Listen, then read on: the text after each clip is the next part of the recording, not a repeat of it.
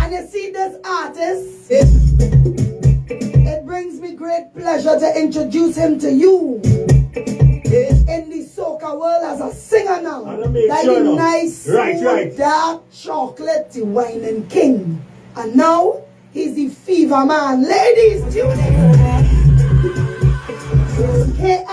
That's his name on Instagram.